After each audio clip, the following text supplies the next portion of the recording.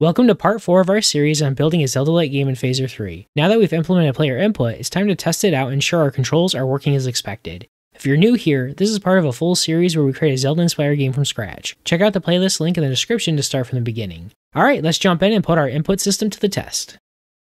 To start testing our keyboard component, we'll update our player class to have an instance of our keyboard component, and as the player provides input, we'll update our player to play different animations based on the key that was pressed. To do this, let's jump over to our game scene, and we need to create an instance of our keyboard component.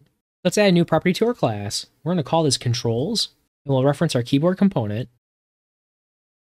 And down in our create method, we'll do this dot controls, be equal to a new instance of our keyboard component, we need to pass in our phaser input keyboard plugin. So we'll do this.input and we'll do keyboard. And so to fix our IntelliSense issue, we just need to add a safeguard to make sure our input keyboard is actually enabled on our game. Uh, by default, this is typically enabled for your Phaser games, but you can disable it in your configuration settings. So to add this safeguard at the top of our create method, we're just going to add a return statement if it's not available. So we'll do if not our input keyboard. Uh, so if it doesn't exist, if it's not enabled, then we'll just log a message. So we're to do console.warn, and we'll say our phaser keyboard plugin is not set up properly. And so we'll add in a return statement. All right, so when our game refreshes, oh, we need to update our references. So if we come into our keyboard component at the top of our file, let's add in our phaser import. So I'm going to copy this from our player class. We'll paste that into our keyboard component. Now we jump back over to our game scene. Now we need to pass our controls to our player class. So we'll add a new property to our configuration. We're just going to call it controls, and we'll pass in this in our controls instance. We jump back over to our player class. Let's update our config. Uh, so after our frame, we're going to add in controls. For our controls, we're going to type this to be our input component. Now that we have our input component in our player class, we can now check for our keyboard presses and then update our player's animation when one of our keys is pressed. For this check, we need to do this in our update method of our phaser scene. So with the phaser game engine, once our scene is first started and is created, it will then start invoking our update method. And this update method is going to be invoked multiple times per second, so each tick of our game loop. And inside this loop, this is where we'll want to do things like check for our player input and check for collisions. To do this check, Let's add an update method to our player class. We'll have a return void, and now we need to reference our controls. So we'll update our player class to have a reference to our controls.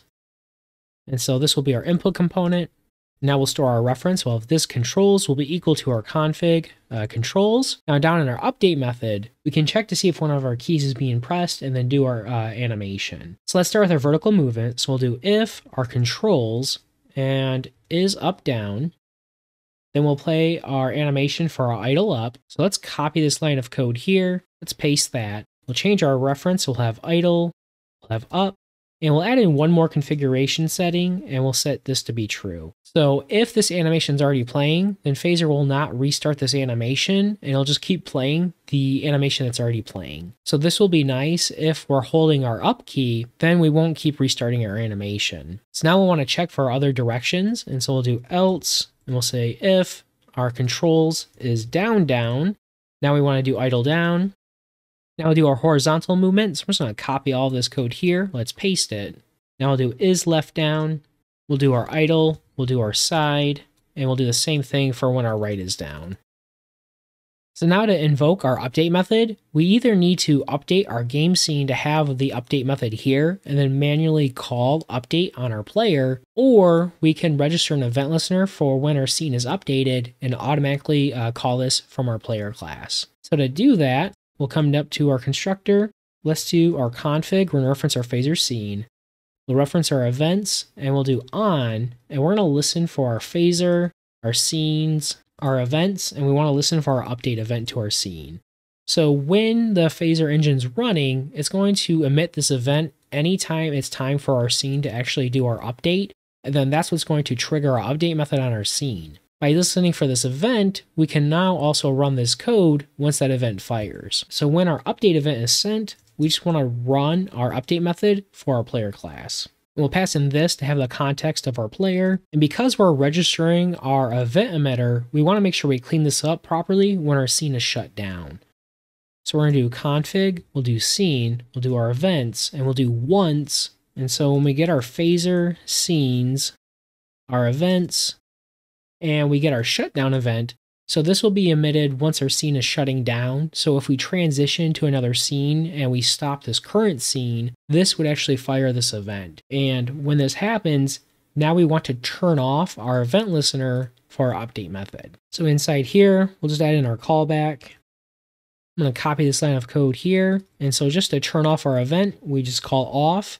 And then we need to provide the same arguments that we provided when we turned it on. So one thing to note is when we use the on method, this is going to allow us to listen for the event every time it's fired. Once we'll add a one-time listener uh, for that event. So for our shutdown, we only care about this happening one time. And so once this is invoked, if it was ever fired again, we would ignore that event. So now that our code changes, let's come back over to our game scene. And now if we press our arrow keys, we'll see our player now rotates into that direction and it plays that animation.